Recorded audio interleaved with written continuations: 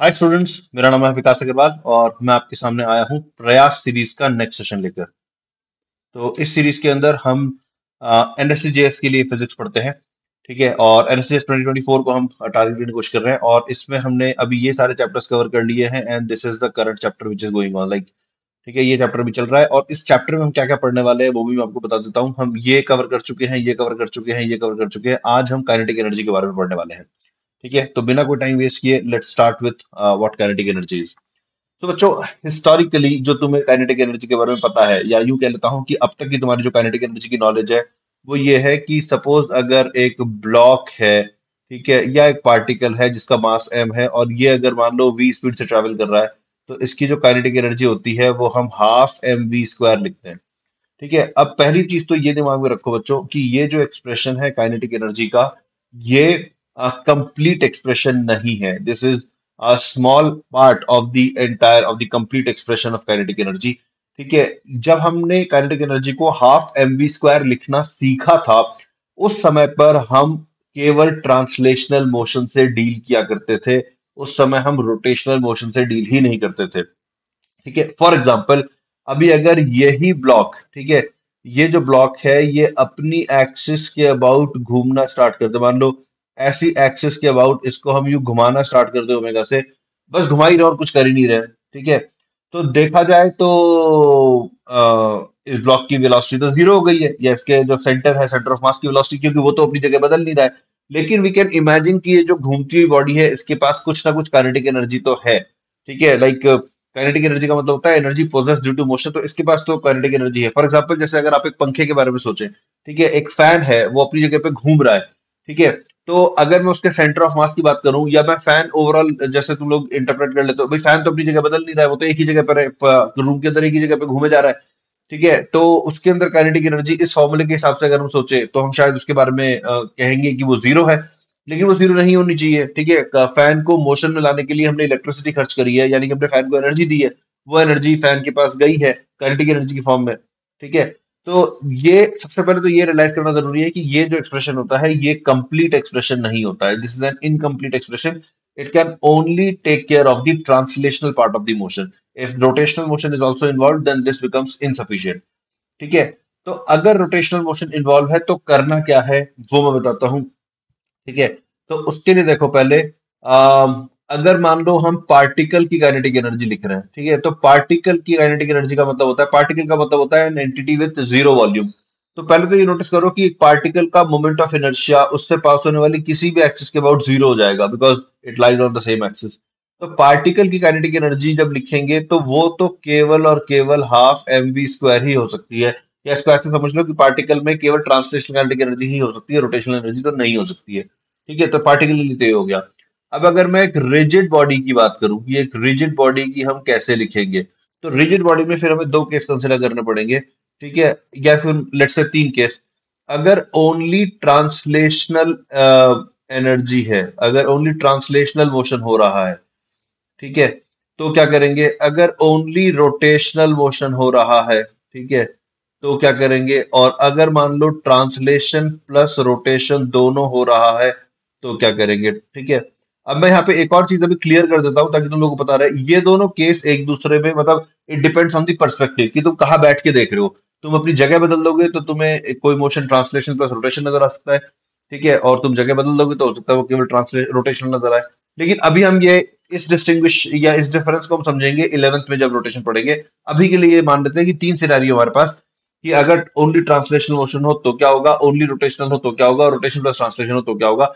क्योंकि इससे एटलीस्ट तुम स्टार्ट कर पाओगे। ये जो काइनेटिक एनर्जी वाला टॉपिक है, इसको स्टार्ट कर पाओगे, इसको एड्रेस कर पाओगे। ठीक है? तो पहले मैं बात करता हूँ ओनली ट्रांसलेशनल मोशन की। ठीक है? अगर एक रिजिड बॉडी में केवल ट्रांसलेशनल मोशन हो रहा है तो इसकी काइनेटिक एनर्जी कैसे लिखी जाएगी? सो लेट से एक ब्लॉक ही इमेजिन कर ज़रूरी नहीं है कि वैसे हम ब्लॉक ही माने। ठीक है? तुम जो मर्ज़ी वो ऑब्जेक्ट मान सकते हो। तुम एक डिस्क मान सकते हो, जिसके सेंटर को हमने वी से मूव कर रखा है। तुम एक स्फेयर मान सकते हो। तुम एक सिलेंडर मान सकते हो। ठीक है जिसको हमने वी से मूव कर whatever is the object ठीक है इनके मासेस हम एम से रिप्रेजेंट कर देते हैं। तो इन सारे केसेस में जो काइनेटिक एनर्जी है वो लिखी जाएगी हाफ़ एम वी स्क्वायर ठीक है। There is no other kind of motion involve so only translation is there so the kinetic energy will be written as half mv square. Now what if only rotation is there? ठीक है only rotation अगर है तो क्या करेंगे? तो अगर अ, केवल रोटेशन है ठीक है फॉर एग्ज़ाम्पल कैसे केस की बात कर रहे हैं हम? जैसे मान लो कि ये एक रॉड है ठीक है ये रॉड मान लो रोटेट कर रही है किसी एंगुलर वेलोसिटी से, ठीक है? तो ये जो एक्सिस है, इस एक्सिस के अबाउट रोटेट कर रही है, इसका मास एम मान लेते हैं, इसका लेंथ एल मान लेते हैं। तो ऐसे केस में काइनेटिक एनर्जी कैसे लिखते हैं? उसको हम लिखते हैं half I omega square I यहाँ पे क्या है? This is moment of inertia about the fixed axis of rotation about the fixed axis क्यों बोल रहे हैं? क्योंकि ये एक्सिस मूव नहीं कर रही है। जिसके अबाउट रोटेशन हो रहा है, वो एक्सिस मूव नहीं कर रही है। About the fixed axis of rotation ठीक है तो इसके मैं और एग्जांपल देता हूँ, ठीक है, जैसे इसके कुछ एग्जांपल्स करते हैं, ठीक है, जैसे सपोज़ यही वाला केस कर देता हूँ पहले मैं, ये एक रॉड है, ठीक है, इस रॉड को हमने मान लेते हैं कि एक एंड के अबाउट हिंज कर रखा है, यानी कि एक्सेस हमने इस एंड से पास करा रखी है पिन जॉइंट लगा रखा है, और ये ओमेगा से रोटेट कर रही है मास एम है लेंथ है तो काइनेटिक एनर्जी क्या लिखेंगे ये होगा half M L square by three remember कि एंड के अबाउट रॉड का जो मोमेंट ऑफ़ इनर्शिया आता है, वो एम स्क्वायर बाय थ्री आता है इनटू ओमेगा स्क्वायर तो ये काइनेटिक एनर्जी हो जाएगी। ठीक है? और एग्जांपल करते हैं, जैसे एक डिफरेंट एग्जांपल कर लेते हैं। सपोज़ एक डिस्क है, ठीक है? एक, मान लेते हैं एक डिस्क है, ठीक है? अच्छी सी नहीं बनी, अच्छी सी बनाते हैं। थोड़ी सी अच्छी तो बनाए कम से कम। ठीक है? तो मान लो एक डिस्क है ठीक है? और ये इस एक्सिस के अबाउट ओमेगा से घूम रही है।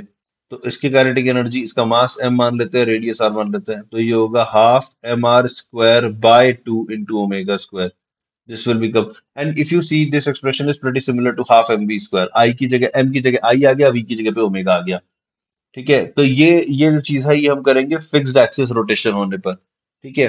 अब अगर मान लो रोटेशन भी हो रहा है ट्रांसलेशन भी हो रहा है तो क्या करेंगे? ठीक है? तो अगर मान लो रोटेशन भी है और ट्रांसलेशन भी है, ऐसे केस में चलो इसका एग्जांपल देते हैं पहले।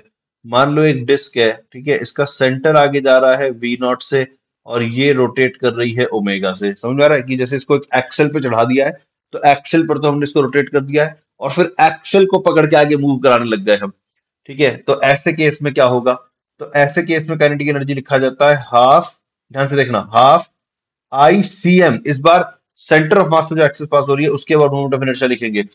So half I C M omega square plus half M M is the mass of the object into V C M square इस तरीके से लिखा जाता है। ठीक है? फॉर एग्ज़ाम्पल अभी जैसे अगर ये डिस्क है, मान लो, ये एक यूनिफॉर्म डिस्क है तो इसके लिए क्या लिखेंगे हम? इसके लिए काइनेटिक एनर्जी हो जाएगी हाफ़ आई सी एम यानी कि M R square by two omega square plus half M V nought square because centre of mass की वेलोसिटी वी नॉट गिवन है हमें। ठीक है? तो ऐसे केस में फिर काइनेटिक एनर्जी इस तरीके से लिखी जाती है। ठीक है? फॉर एग्ज़ाम्पल फॉर एग्ज़ाम्पल मान लेते हैं कि एक डिस्क है, ये प्योर रोलिंग कर रही है। हमको ये बता दिया गया है कि ये प्योर रोलिंग कर रही है। तो प्योर रोलिंग बताने से हम क्या कर सकते हैं? हम ओमेगा और वी नॉट में रिलेशन निकाल सकते हैं। मतलब अब हमें ओमेगा और वी नॉट दोनों देने की ज़रूरत नहीं है। सपोज़ हमें केवल वी नॉट दिया गया था तो ओमेगा को हम लिख देंगे वी नॉट बाय आर ठीक है, इसका मास एम मान लो रेडियस आर मान लो तो काइनेटिक एनर्जी हम लिखेंगे half M R square by two ठीक है इनटू ओमेगा ओमेगा होगा वी नॉट बाय आर का square plus half M V nought square देखो इस तरीके से लिख देंगे। तो ये कितना बन गया, यहाँ से आ जाएगा वन बाय फोर यहाँ से आ जाएगा हाफ़ तो ये हो जाएगा three by four M V nought square so that would be the kinetic energy of the disc ठीक है तो इस तरीके से हम तीनों केसेस में काइनेटिक एनर्जी को लिख सकते हैं। अब हमने काइनेटिक एनर्जी को तो लिखना सीख लिया है। अब सवाल ये आता है कि इसको यूज़ कैसे करना है? ठीक है? तो बच्चों, जो यूज़ का यूज़ है, ठीक है? यूज़ तो उसी पुरानी क्वेश्चन में आएगा जो हमने पहले पढ़ रखी है। ठीक है? यूज़ आएगा वर्क एनर्जी थ्योरम को अप्लाई करने में। वर्क एनर्जी थ्योरम कहती है कि total work done equal to change in kinetic energy तो थ्योरम अभी भी वही रहेगी। बस काइनेटिक एनर्जी को लिखने का हमारा तरीका अब ज़्यादा एक्सपैंड हो चुका है। ठीक है? क्योंकि यहाँ हमने नए केसेस इंक्लूड कर लिए हैं। जैसे मैं करके दिखाता हूँ। ठीक है? तो सपोज़ हमने एक सिचुएशन ली कि एक रॉड थी, इस रॉड को हमने हॉरिजॉन्टल पोजीशन पे रखा हुआ था और इसके एक एंड को हमने हिंज कर दिया था। इसको हमने यहाँ से एक पिन पास करा दी थी और पिन से यूँ, ठीक है? और फिर यहाँ से हमने इसको रिलीज़ कर दिया, ठीक है?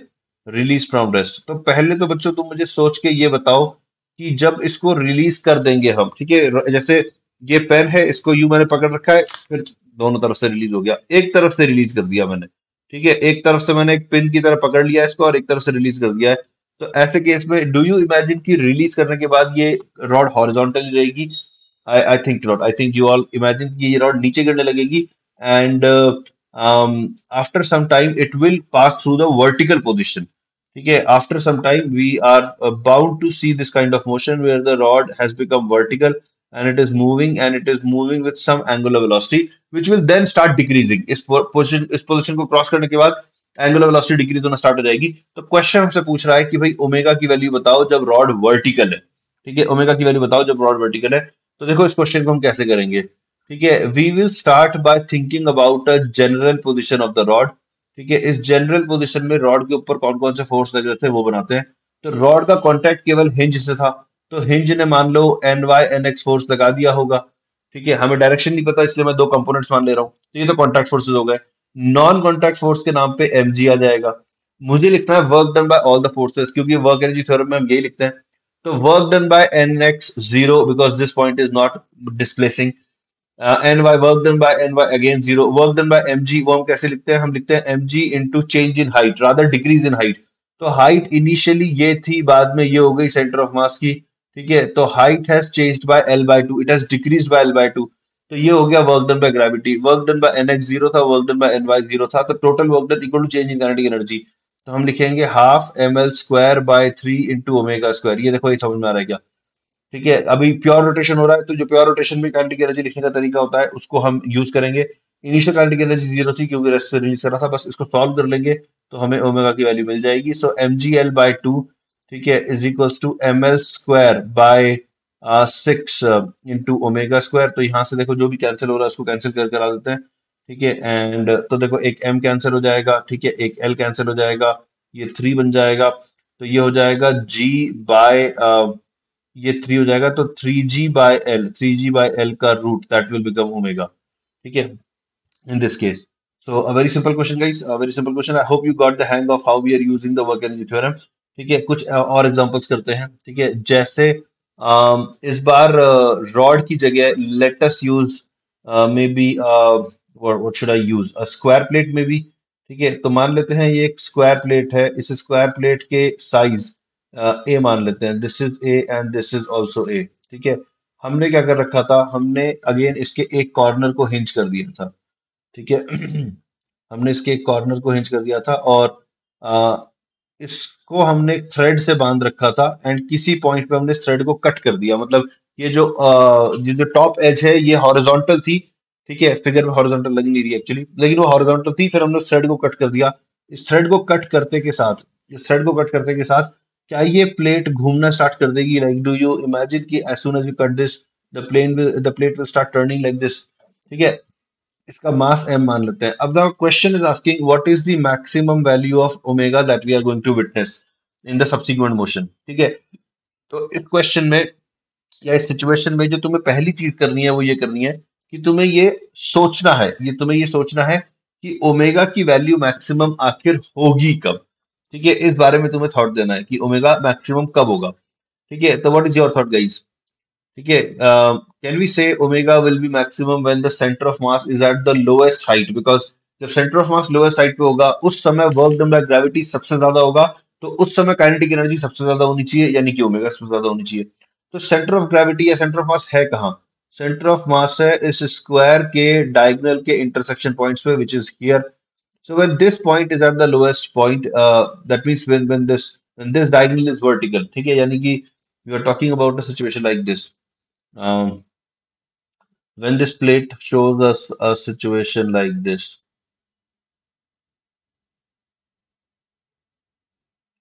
ठीक है जैसे ये वाली डायगोनल जो थी when this diagonal becomes vertical at that moment whatever is the omega that is the maximum omega are you getting this everyone okay now what is the change in height so if i measure if i measure the height um, or vertical distance of this point from the hinge okay then it was l by 2 earlier or a by 2 rather. It was a by 2 earlier. Now it is how much? So this is half of the diagonal. Diagonal is root 2a half of that is a by root 2 okay so the change in height is a by 2 minus a by root 2 um okay or rather this is more. So i should write a by root 2 minus a by 2 okay So this is uh, the decrease in height. Okay, and what you do now, you multiply this with m into g. Okay, so this multiplied with mg. This is work done by gravity. Now kinetic energy, so half I about this axis. Now uh, we will use parallel axis theorem here. So do we know the I about the axis passing through the center of the square and perpendicular to the plane? We do know that. Um, that is ma square by 6. That's a standard result. Uh, we will add parallel axis theorem. We will use parallel axis theorem, so it will become m into this distance, square of this distance. So ये हो जाएगा ma square by 2, ठीक है, into omega square. ये हो गया. बस अब इसको सॉल्व कर लेंगे, ठीक है. इसको सॉल्व करके जो भी ओमेगा आएगा, that would be the answer. ठीक है. और एग्जांपल करते हैं, और एग्जांपल करते हैं. तो हम्म, देखो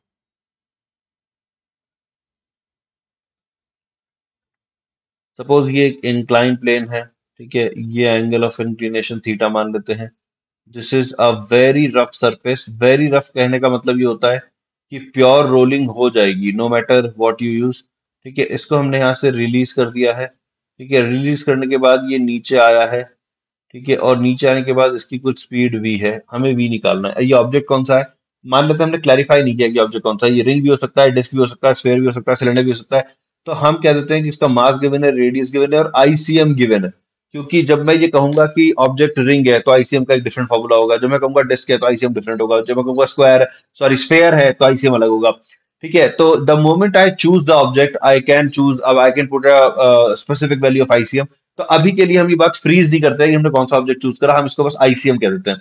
ठीक है? तो क्वेश्चन ये है कि जब इसकी हाइट डिक्रीज हो चुकी होगी बाय एच ठीक है? एच हाइट नीचे गिरने के बाद, यानी कि सेंटर अभी यहाँ पर है, पहले यहाँ पे था तो ये जो एच हाइट नीचे गिरा है सेंटर इसके बाद स्पीड बताओ कितनी होगी। ठीक है तो करते हैं इसको।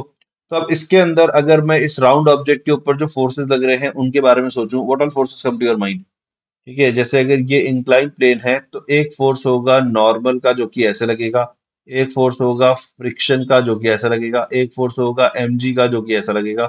ठीक है, और अब अगर मैं लिखूँगा work done by friction plus work done by normal plus work done by gravity is equals to K final minus K initial तो इसमें work done by friction zero आ जाएगा। क्यों ज़ीरो आ जाएगा? क्योंकि फ्रिक्शन जिस पॉइंट पे लग रहा है, उसकी इंस्टेंटेनियस वेलोसिटी ज़ीरो है। स्लिपिंग हो नहीं रही तो बॉटम मोस्ट पॉइंट की जो वेलोसिटी आएगी, वो ग्राउंड की वेलोसिटी के बराबर होगी, क्योंकि वो दोनों कॉन्टैक्ट में है which is zero same goes for normal work done by gravity हो जाएगा m g h because the decrease in height is h K f तो अब के एफ़ का मतलब हुआ, इस सिचुएशन में काइनेटिक एनर्जी लिखना। इस सिचुएशन में रोलिंग मतलब ट्रांसलेशन भी है और रोटेशन भी है।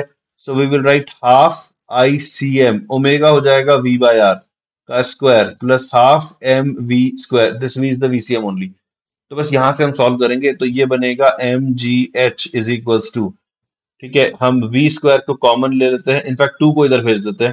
तो ये बन जाएगा I C M by r square plus I C M by r square plus m ठीक है तो v की वैल्यू आ जाएगी root of two m g h divided by divided by I C M by r square plus m अब denominator में से अगर एम को भी कॉमन निकाल ले तो ये बन जाएगा, इसको नेक्स्ट पेज पे कर देता हूँ मैं। तो ये बन जाएगा root of two g h upon I C M by m r square plus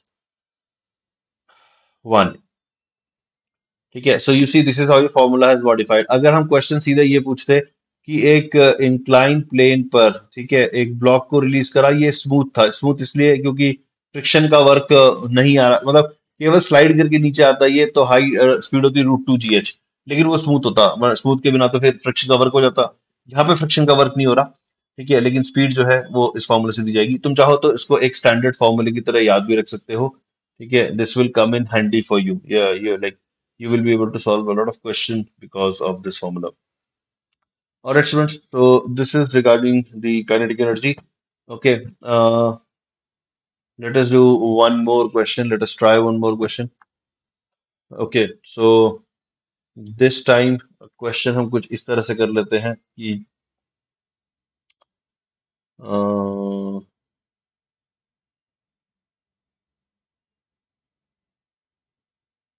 ये एक इंक्लाइन प्लेन है ठीक है एंड लेटस से हम इसके ऊपर हम्म, हमने इसके ऊपर एक ऑब्जेक्ट को रिलीज़ करा है and the surface is smooth इस वाले केस पे क्या होगा? लेट्स डिस्कस ठीक है? तो देखो स्मूथ सरफेस होने पे क्या होगा? फ्रिक्शन नहीं लगेगा. नॉर्मल सेंटर से पास करता है जैसे इस एफबीडी पे आते हैं. नॉर्मल सेंटर से पास करता है फ्रिक्शन डिसअपियर हो जाएगा. एमजी सेंटर से पास करता है. So there will not be any torque so this object will just come down sliding it will not rotate at all तो इस वाले केस में अगर ये पूछा जाए कि एच एच वर्टिकल डिस्टेंस नीचे गिरने के बाद स्पीड बताओ, ठीक है? तो वो simply root two g h ही हो जाएगी। स्टूडेंट्स ठीक है, इस वाले केस में फिर वो simply root two g h हो जाएगी। Because there is no part of energy which is going into the rotational energy. Okay. All right students uh, so what i will do i will give you an assignment to solve on kinetic energy. Okay you can attempt that assignment and uh, i think that will help you. And in the next session i will teach you about angular momentum. All the best students. Take care